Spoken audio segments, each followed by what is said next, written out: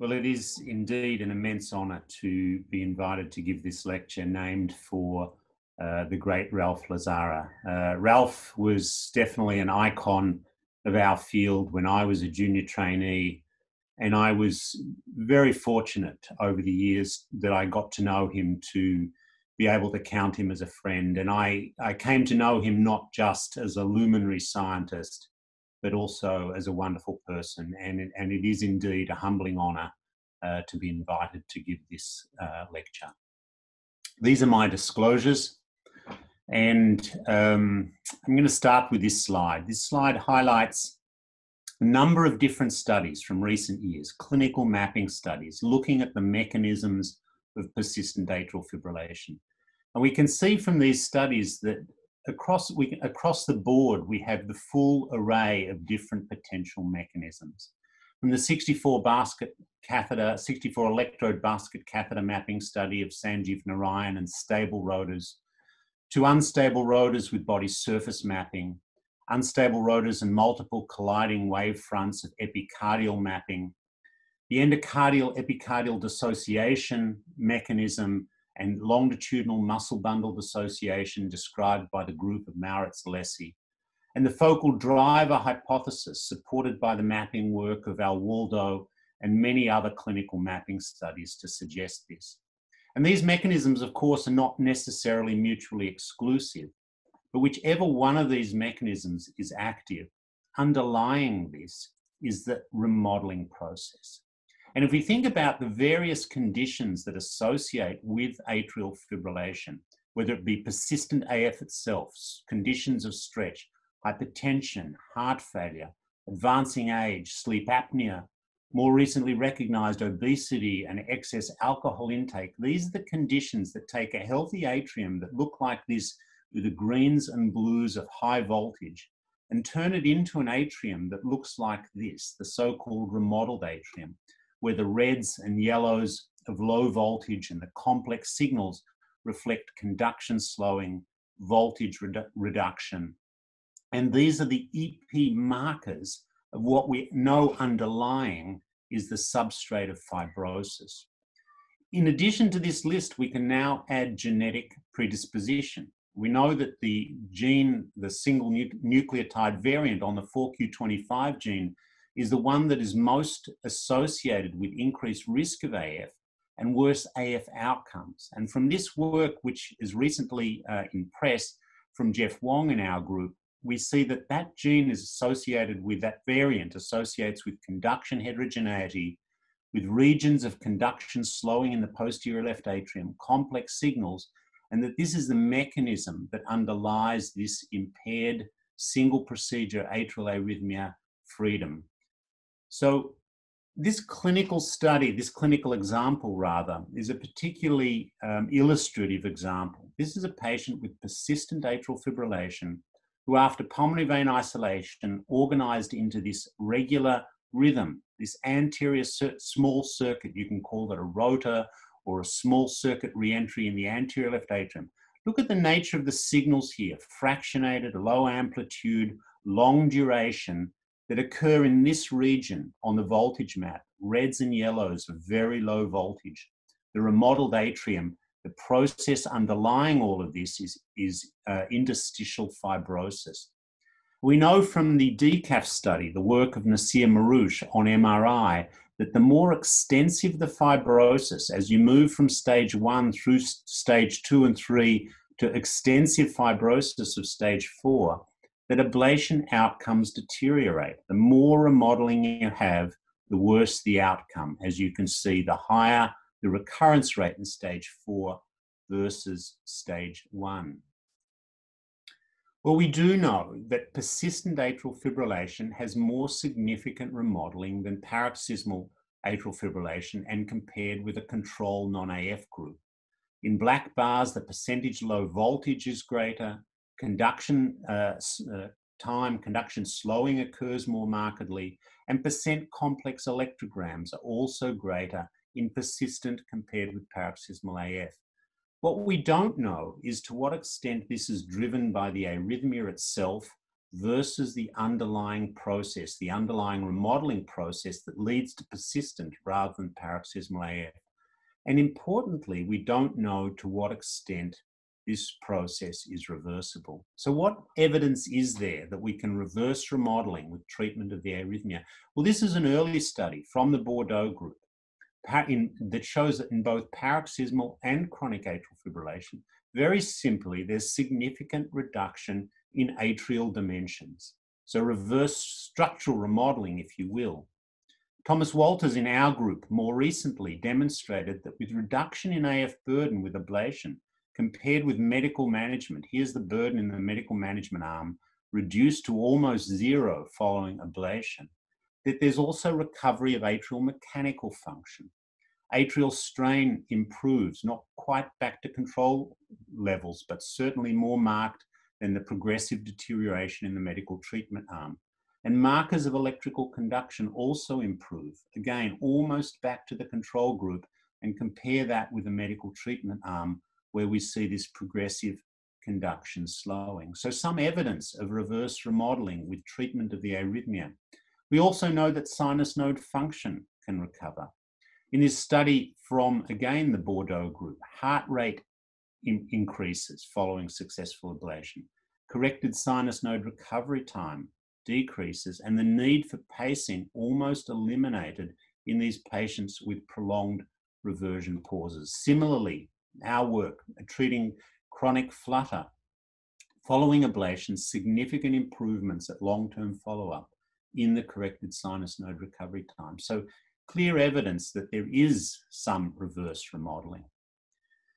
The animal studies have not necessarily borne this out. This comes again from the group of Maurits Allessie. It's a goat study. The goats were subjected to four months of atrial fibrillation, and what you see is significant development of myolysis, cell loss, glycogen accumulation, and interstitial fibrosis. But at four months following atrial fibrillation, this is not reversed completely. Myolysis remains, fibrosis remains, and this translates into increased AF duration still present at two and four months compared with baseline. So incomplete reversal after four months of atrial fibrillation. We undertook a study in humans looking at outcomes following um, six months of sinus rhythm after successful ablation. Here's AF pre-ablation compared with control, lower voltages in reds and yellows. But to our surprise, when we followed these patients up after successful ablation, six months later, voltage had continued to decline. Conduction had not significantly improved, and the percentage of complex signals on mapping had actually gradually and progressively continued to increase. This was a surprise to us, but I think it really just emphasizes that treatment of the arrhythmia alone may not be enough that those underlying risk factors that I've been talking about continue to progress the remodeling process. And the more of those risk factors that you have, the less likely we are to see a successful outcome. The more risk factors, the greater the remodeling, the less likely that success will be maintained in the long term. These are just two scoring systems the CHAD scoring system, the Apple scoring system, using different risk factors for remodeling, but both showing the same thing freedom from atrial fibrillation or recurrence rates, uh, freedom lower, recurrence higher, the more of these factors that you have. So, what evidence is there then that treating these factors can reverse the remodeling process? And I think I'm going to start with the work of my colleague, Prash Sanders, whose really seminal work has indicated to us that treating weight and risk factors has significant impact on outcomes. On the left, we see the randomized study published some years ago in atrial fibrillation patients undergoing um, weight loss in a, a, dedicated clinic to achieve this. You can see a significant fall in body mass index, and this correlates with very significant reduction in AF burden over a 15 month follow up period. Similarly, the ARREST AF cohort study, looking at a cohort that underwent aggressive risk factor management. These are obese patients, BMI over 30, being treated not just for weight reduction in a dedicated clinic, but also the full array of risk factors, single procedure success rates and multiple procedure success rates significantly better than in the control arm, as you can see here. They took this work a step further in the reverse AF study. This is a five year follow up study looking at whether there's a dose response, if you will, between weight loss and outcome. And so in the orange bar here, this is the group who lost more than 10% body weight and maintained this weight loss.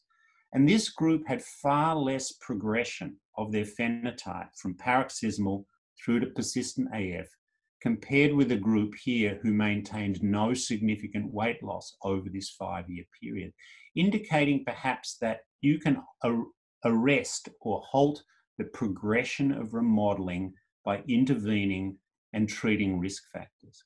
But more than this, when they looked at those patients who were persistent, obese patients who were persistent, who then lost more than 10% of their body weight, fully 88% of this group reversed from pers- persistent back to a paroxysmal phenotype, compared with much lower numbers in these intermediate groups, modest weight loss, and no uh, significant weight loss over the five year period. And again, this gives us some indication that not only can we arrest progression, but we may be able to reverse the remodeling and reverse uh, the phenotype from persistent back to paroxysmal. Now, when patients lose weight, a number of risk factors are impacted, which also improve the remodeling process. Sleep apnea gets better, blood pressure improves, glycemic control improves. And with this, there's evidence of structural reverse remodeling. Left atrial volume index decreases in a dose responsive manner, septal dimension decreases in a dose responsive manner. So, underpinning the improvement is indeed evidence of reverse structural remodeling. Others have shown the same thing. This is a very nice recent study from the group at the Cleveland Clinic. And they took morbidly obese patients and compared those who underwent bariatric surgery in blue with those who did not in green, and also compared them to the non obese group here in red, and showed that the outcomes in those who underwent bariatric surgery were as good as those who were not obese. But the morbidly obese patients had really poor outcomes. And if we look at the first column here on the right, uh, on, on the uh, table on the right, first column, and compare that to the third column, bariatric surgery versus no bariatric surgery, we can see that there's evidence of fall in systolic blood pressure, reduction in hypertension, improved glycemic control, reduction in LA dimensions, and also reversal from um, persistent back to paroxysmal atrial fibrillation with the bariatric surgery. So, evidence that there is some reverse structural remodeling, improvement in risk factors that underpins these improved outcomes. Well, what's the pathology here? What's going on? And these are data that my colleague Dr. Nalliah will present at this meeting. And what he did in an operating room study was look at the relationship between regional epicardial atrial adipose volume evaluated with CT imaging and the underlying structure of the heart. And what he showed histologically was that there was significant epicardial fat infiltration correlating with this adiposity, that there was regional atrial fibrosis, and that there was connexin 40 lateralization away from the ends of the intercalated disc to the sides here in red, and that these three together cause significant associated mapping of that region, associated conduction slowing and block, which underpinned the impact of obesity on atrial conduction and the substrate for atrial fibrillation. Does this reverse? Well, to understand this, we need to look at animal studies. And again, unpublished work now from the group of Prash Sanders looking at an obese model uh, in sheep. Sheep overfed become markedly obese, and with this, develop inflammation adipocyte infiltration, as in the human study, increasing fibrosis and reduction in connexin. And with 30% weight loss, almost all of this is reversible. Inflammation disappears. There's a reduction in adipocyte infiltration, um, reduction in collagen, as you can see here, and improvement in connexin 43 levels, suggesting, at least in this relatively short term model, that much of this is reversible. And together with that, the epicardial mapping demonstrates that the slowed conduction and bunching of isochrones with increased conduction heterogeneity in the obese sheep fully reverses with 30% weight loss back to baseline, conduction returns to normal, and with this, induced AF duration returns to baseline levels. So, certainly evidence for reverse remodeling with obesity. Associated with obesity is oftentimes sleep apnea, very strongly now associated with atrial fibrillation. This is an early study that showed in AF patients there was a much higher incidence of moderate in red and severe sleep disordered breathing in green compared with a control population. And numerous other studies have shown similar results. There are multiple potential mechanisms by which sleep apnea leads to atrial fibrillation. We can talk about the underlying progression of substrate, the red line here, due to cardiac remodeling, chronic remodeling, LA dilatation and stretch, LV dilatation and hypertrophy. But the blue bars represent the acute insult each night due to marked intrathoracic pressure change, autonomic nervous system activation, acute atrial stretch, which on any given night might reach the threshold for atrial fibrillation.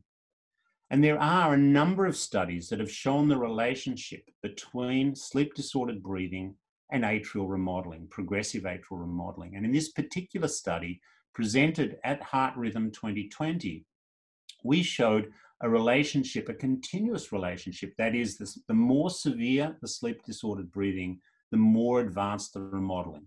Bipolar voltage falls, conduction is impaired, complex signals increase, and this is more marked in persistent than paroxysmal AF, and notably persistent AF patients have more severe sleep disordered breathing. Well, at the same meeting and awarded the Eric Prystowsky Award, at this meeting, Heart Rhythm 2020, Dr. Nalliah undertook a small randomized study of AF patients undergoing randomization to either CPAP or no CPAP in the six month lead up prior to ablation and showed that there is indeed evidence of reverse remodeling if you treat these patients. CPAP improvements in conduction, improvements in bipolar voltage, reduction in complex electrograms, all significant when compared with the untreated group. So, evidence that you can reverse remodeling, but in order to do this, you have to have excellent CPAP compliance. In the graph, this is the line here that marks four hours CPAP a night this particular patient, you can see excellent compliance. With this compliance, you have dramatic reduction in the overall apnea hypopnea index from over 40 down to under 10. And what you're really looking for here is average usage of more than four hours per night in order to achieve this. Now, this was achievable in a small study with intense follow up. Whether this is achievable in large populations becomes less clear because CPAP compliance is something that is very challenging. We do see from small, non randomized, largely observational studies that if you treat patients, they do have better outcomes. So, patients with sleep apnea and atrial arrhythmias do better with uh, treatment, CPAP treatment, post cardioversion, post pulmonary vein isolation. And it's these small studies that led the consensus group to recommend a 2A cl- classification for treatment of sleep apnea can be useful, is the verbiage for patients with AF, including those uh, undergoing AF ablation. These are small studies, and I think whether or not these encouraging results can be translated into large populations remains to be seen in bigger randomized studies. Well, hypertension, another critic condition critically associated with atrial fibrillation. If we look at a, a sample of uh, basic studies looking at the impact of hypertension on the atrium, we consistently see the development of atrial fibrosis seen in this middle study and the progressive development of atrial fibrillation, the hallmark underlying um, the association between hypertension and atrial fibrillation. So, is any of that reversible? Well, my colleague Dr. McLellan undertook this small study in patients with refractory hypertension treated with renal denervation. And with this treatment, there were improvements in mean uh, systolic and diastolic blood pressure, and also in maximum systolic blood pressure. And that improvement in blood pressure translated at mapping to improvements in atrial conduction. And there was a clear correlation between the improvement in blood pressure and the improvement in conduction. Well, just very recently, in the last months, John Steinberg and colleagues published this randomized clinical trial, the Eradicate AF trial, also looking at patients with refractory hypertension and atrial fibrillation and randomized to either just ablation or ablation plus renal denervation, showing significantly better outcomes in those patients who received renal denervation compared with the increased recurrence rates in those having pulmonary vein isolation alone. And if we look at other markers, secondary markers of that study, you can see that this was associated with significant improvements in blood pressure, 10 millimeter and 20 millimeter reduction greater in the renal denervation group. And this translated into reverse structural remodeling.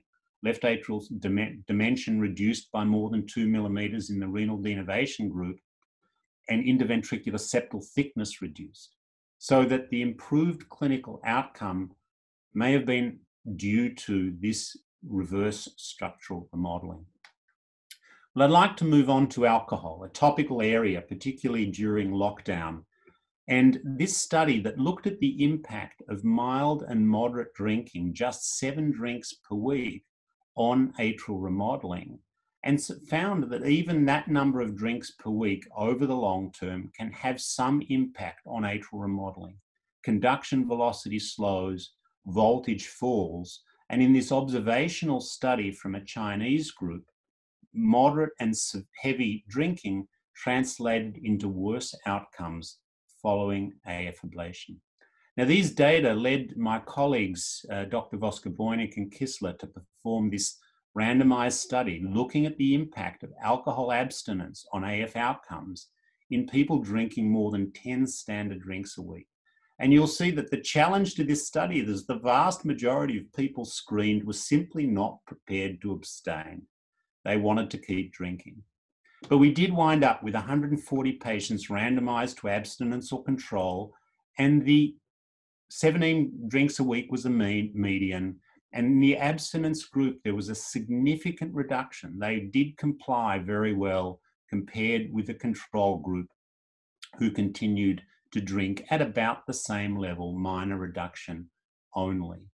And the impact of this abstinence was a significant improvement, significant uh, delay in time to AF recurrence, increased AF free survival by 37%, present in both the paroxysmal and the persistent AF groups.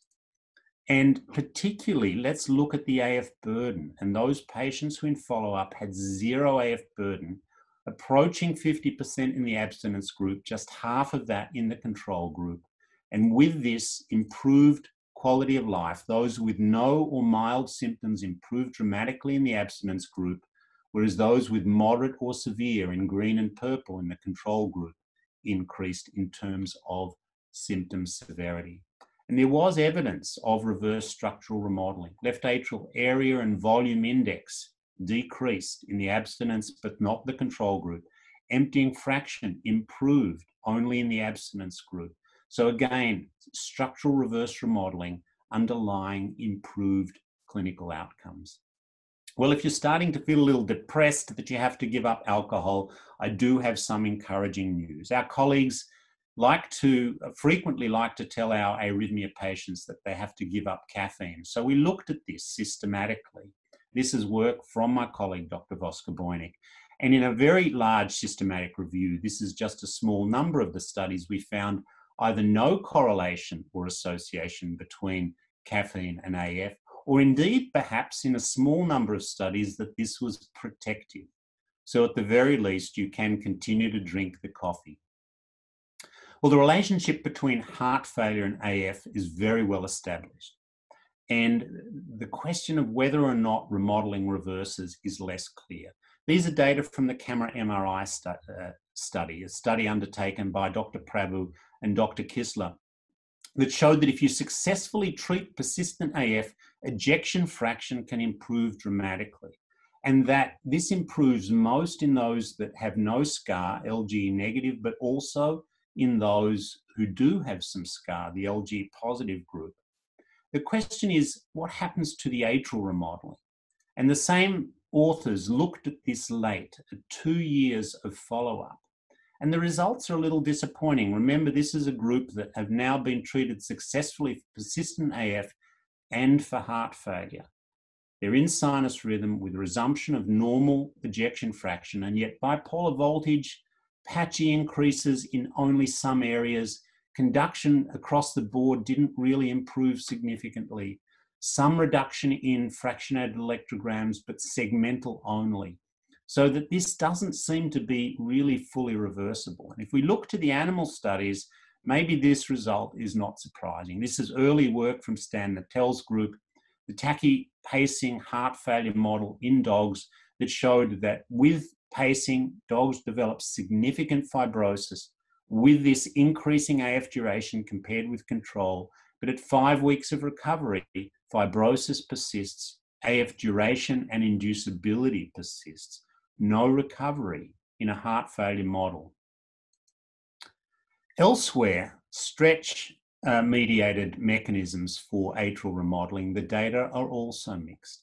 This is a study looking at the impact of balloon valvuloplasty in severe mitral stenosis. And following valvuloplasty, as expected, mitral valve area improves, LA size decreases quite dramatically, and atrial pressures decrease. And with this, both acutely in the light blue bars and chronically in the darker blue bars, conduction improves, and regional bipolar voltage improves, as can be seen in these examples. The areas of purple and blue increase over time.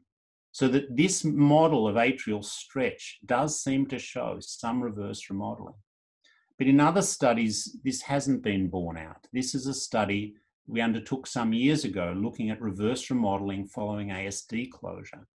And although atrial volumes significantly decrease in both right and left atrium, Conduction delay persists at late follow up. And regional conduction delay, these are extensive double potentials at the crista terminalis, does not improve. So, patchy results for reverse remodeling in different studies. If we ask the question, can cardiac fibrosis go away? We need look no further than this very nice review from Stan Nattel, who described the different types of fibrosis. And that reactive or interstitial fibrosis may, under certain circumstances, decrease, whereas replacement fibrosis, where there's cell death and the fibrosis is part of the reparative process, this is not something, of course, that we can reverse. And if we look to earlier pathology studies comparing the nature of remodeling in atrial fibrillation versus sinus rhythm patients, we indeed do see that there's cell loss, myolysis, programmed cell death with glycogen accumulation, loss of myofibrils. But there's also interstitial fibrosis, and it may be that it's a question of the relative contribution of interstitial fibrosis versus um, fibrosis that is indeed replacement that will determine whether or not some reversibility can occur. But I'd like to finish up with this clinical example. This is a patient who underwent AF ablation in our department back in 2005. You can see from the implanted device that the patient was having virtually 24 hours a day of atrial fibrillation, persistent AF. Here's where ablation was performed and AF melts away. This is 2005. Here it is 2010 and 2016.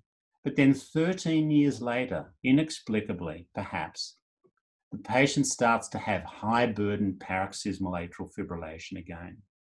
Now, over that 13 year period, the patient had gained 12 kilos, had developed hypertension, significant sleep apnea.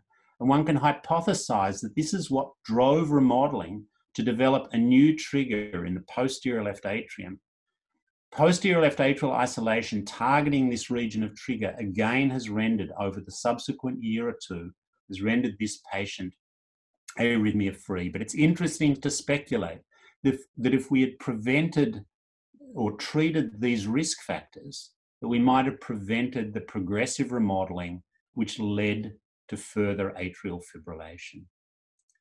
So I'd like to just end with this slide, looking at a particular phenotype of atrial fibrillation. That is progression from sinus rhythm through paroxysmal and persistent to permanent AF.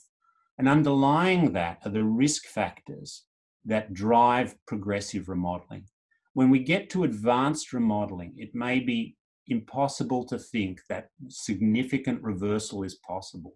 But here in the middle, not only can we arrest remodeling, but we might be able to some extent to reverse the remodeling if not only if we not only treat the arrhythmia itself, but we also treat the associated risk factors. And I think that there is emerging evidence that suggests that this is indeed important.